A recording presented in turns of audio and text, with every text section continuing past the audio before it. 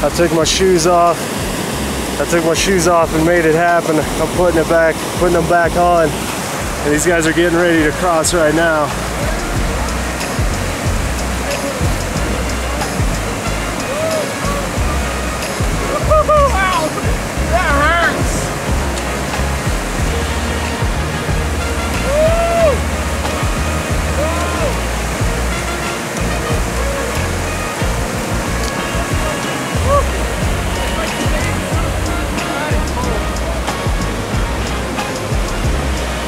How was it, Wes?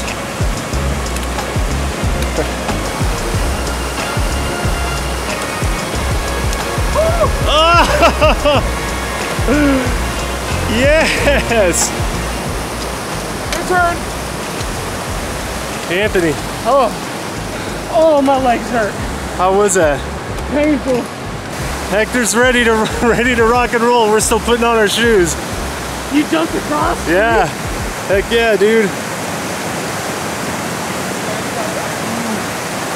Didn't even get wet, huh? Ah, it got hurt. I know you're crossing McGregor. really, like no what.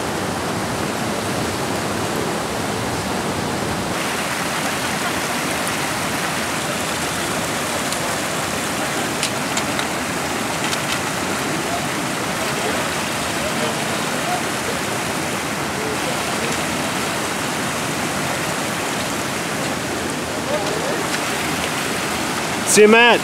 Uh, what's up, guys? We're here on the trail. We got the guys with us. We uh, started at uh, and we're heading up to Dobbs today. Um, we're actually going to try to get there. I know the last few trips that I went to Dobbs didn't quite work out uh, so well, but uh, yeah, we're uh, got a good crew of guys with us today, and uh, we're going to be overnighting, and uh, yeah, we're going to have a great time. Wow, dude, that's such a cool shot. Stay right there.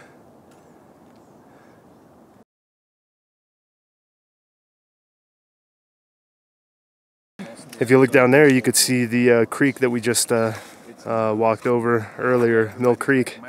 That thing's kicking. I've never seen it that high up, and it was really crazy because there were parts that it had cut out when it had flooded. I mean, it just absolutely washed out so much area. We had to climb up pretty high to just get out of the uh, creek in general. So, good stuff. Look up there, back on Yucaipa Ridge. There's still uh, snow up there.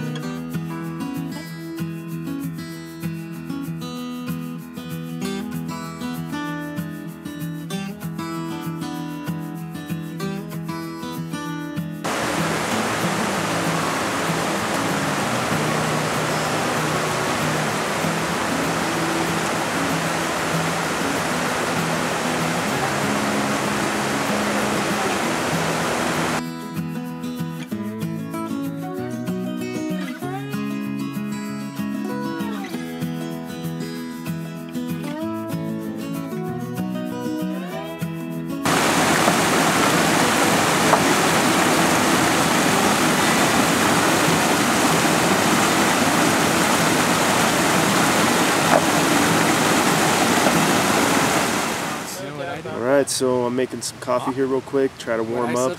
Even though I'm out in the sun, man, I'm really feeling some of this cold. But uh, yeah, we're coming along. We're gonna be making dinners here soon.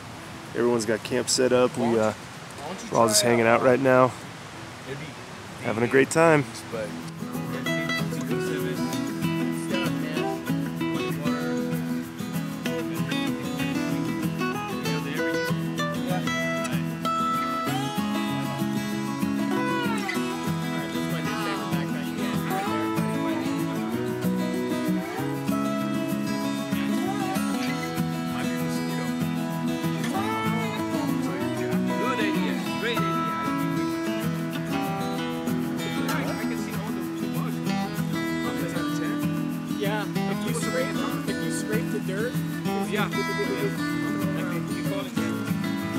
Guess it was better that I didn't bring my tarp, huh? Oh, God, dude. You'd be having. I'm this.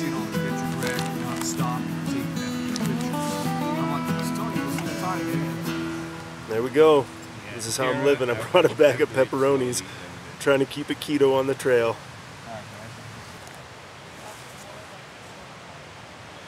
Okay, so this is the uh, shelter that I brought with me, the duplex. It's the one that won. I know. I was totally expecting the uh, the uh, tarp and bivy to win, but uh, looking at the lay of the land around here, it's almost like better that it uh, worked out with the duplex. I mean, I barely fit the duplex in this uh, little spot over here. But uh, no, I'm to be happily using the duplex tonight. Some of the gear that I have with me today, um, I have my, um, right over there, I have my um, Thermarest Neo Air. Um, right there, that bag was just holding some of my clothes. I had taken out my EE Tour jacket.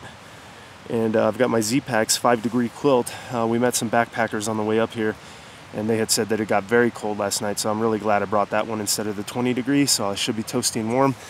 Uh, over there I got my ULA catalyst that I was using and my bag of knickknacks right about there kind of blending in but um, that's kind of like my bag of knickknacks and uh, stuff that was in my bag and uh, just kind of throw that in there to kind of keep things organized. And I have my pillow uh, way back over there. I don't know if you guys can see it, kind of right about there. And that's my uh, my um, my pillow um, that I got a uh, custom. Uh, I got a custom uh, pillowcase for that thing, so it kind of compresses the pillow and fits perfectly under my neck. What I also did with my um, my Z-Packs tent over here is I felt that there was like a, a wind coming from this side.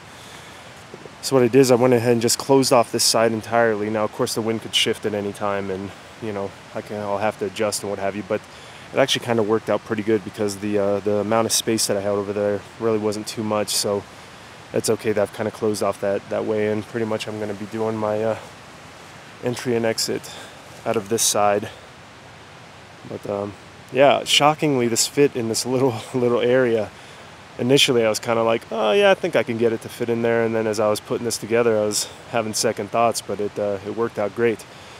What I'm starting to do now too, which has made a huge difference, is um, I'm starting to use. Let me zoom in on those guys. I'm starting to use MSR groundhog stakes, the the real deal things, and uh, man, I've just had so much trouble with the other ones that um, you know that uh, I'm just yeah. So what I'm starting to use now too is uh, MSR full-size MSR groundhog stakes, and uh, boy, they've made such a difference with with pitching this thing. I've often said that Southern California has uh, very loose soil, and those shepherd hook stakes, even though they, they do go into the ground very easily, um, they really I really struggle to get them to hold. So uh, I'm really glad I'm starting to use the uh, the Z or the uh, the um, groundhog stakes with my Z-Pack stuff, and I'm doing them in every single every single point has them. Um, I know sometimes a lot of people probably uh, it's not really focusing, but I know a lot of people sometimes just do the uh, do the ridge line with an uh, with a groundhog and then do shepherd's uh, hooks for the rest. But no, I'm just going to go ahead and do uh, full-size groundhogs no matter what. Some of the other tents that are here too. Uh, Wes's setup right over here. This is a Lunar Solo. Um, really cool pitch on this one, man. He's got plenty of room in there. Yeah, I love this thing. He's got the Luci light hanging from the top right up over there. So uh, he's got a pretty cool system, I have to admit. Uh, he's got a uh, 40 degree bag with a liner in there, so he's going to be all set for tonight. Uh, even though it's supposed to get a little bit cold, he should be sleeping plenty warm with that setup. The other tent that we have over here is we have the uh, the other Lunar Solo that's owned by Anthony, and he's got all these different modifications um, on his tent. Pretty cool mods. Um, he put uh, uh, line lock threes and then Lawson glow line um, on his uh, on his tent. So yeah, when you shine your light on it at night, man, it really it really shines. It's actually pretty cool looking when you shine your light on it. But uh, yeah, he's got his ridge line with uh, with uh, Lawson's glow line. Um, he's got a cool little thermometer here, so get to know what the uh, weather's going to be like tonight. And uh, for his other tie out, he went ahead and just tied it up to the tree over there, so he should have plenty of space in here too, just like Wes. Great shelter indeed, Lunar Solo. The other setup that we have over here, this is Robert's setup. He has an REI uh, quarter dome, very cool tent. Uh, freestanding tent, so uh, yeah, easy peasy with the setup. He's got his Luci light going there too. And um, was really cool, check that out. HMG baby, man.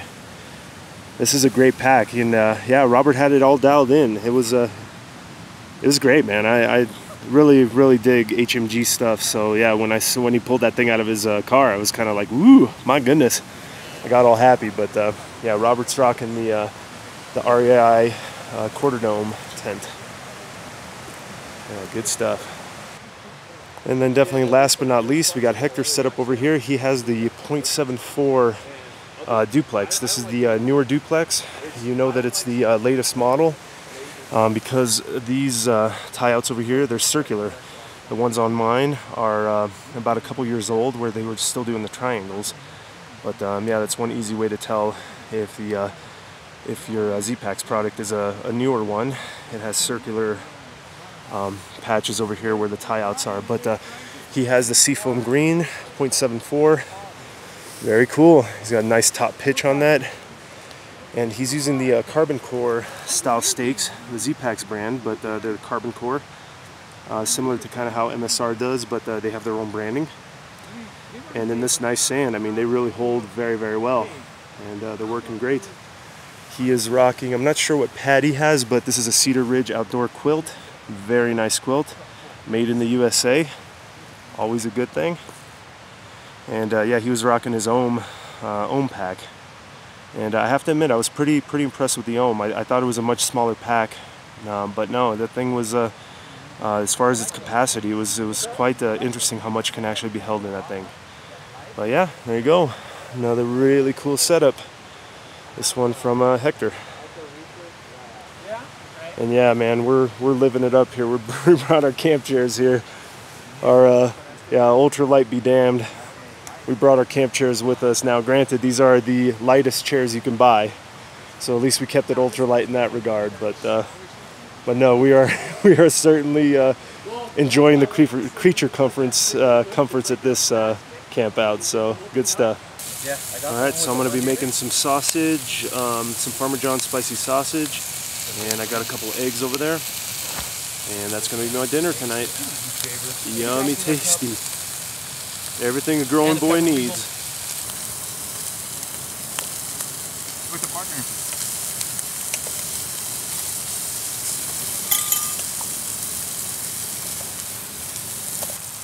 It's like organic egg. Only the finest. I have a. Your lens cap is still on. All right, so here's the final product right there. We got some uh, Farmer John spicy sausage. We've got some, uh, a couple eggs and then some uh, avocado. I'm gonna add some salt and pepper to that and uh, we're gonna be grubbing tonight. I'm gonna go ahead and make some tea right now. It's uh, finally gotten nighttime. It's pretty cold out here. It's not too terribly bad, but uh, yeah, you could definitely feel a chill in the air. So I'm gonna make myself some peppermint tea. So yeah, this this stuff right here I make uh, some peppermint tea, pure peppermint tea.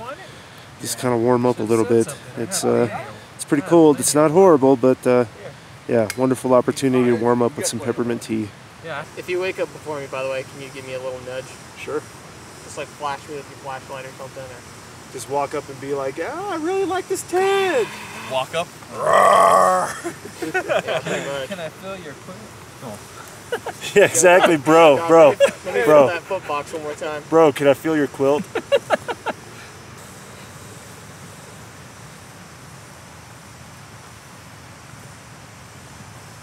Yeah, it is. That stove does not simmer very well. It's the only thing. What are you taught? This thing? Yeah. That thing like, no, no, no, great. No, no, for an extremely low simmer, it'll just conk out because it's so quiet. Ah, that is true. Yes. Alrighty, well, it's finally time to go to sleep. It's uh, it's pretty chilly, but it's not that bad. But I'm still glad that I brought the five degree right here. This thing, I'm uh, already starting to notice my legs are getting warm, which is feels just great.